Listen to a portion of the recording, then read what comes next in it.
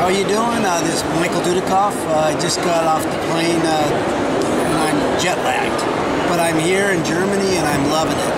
Uh, this is this fan base here is probably the warmest, and um, I, just love all you Germans, and I, I almost want to move here. So maybe someday I will. I don't know, but um, thank you for having me. It's nice to be here, and uh, you want to know about a few things I've done, uh, things that are coming out. I just finished uh, a zombie movie, uh, Navy SEALs versus Zombies, which is a lot of fun.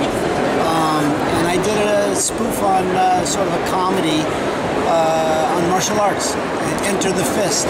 So that, that'll be coming out soon too. Um, so be watching for me, Germany.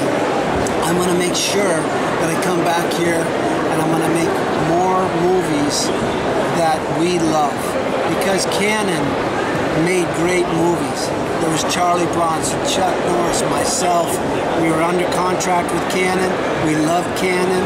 And, so, and by the way, I also did a couple documentaries about Cannon. And uh, look those up. Uh, all about Menachem Golan, Yoram Globus, back in the 80s, and how they did what they did, and why they did what they did.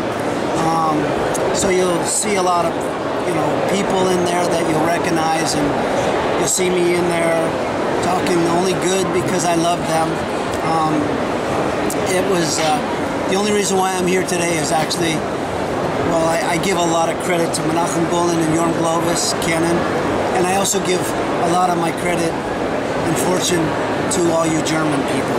Because if it wasn't for you guys, I wouldn't be here today. You guys always, you always stuck by me. You watched my movies, and you know I love you.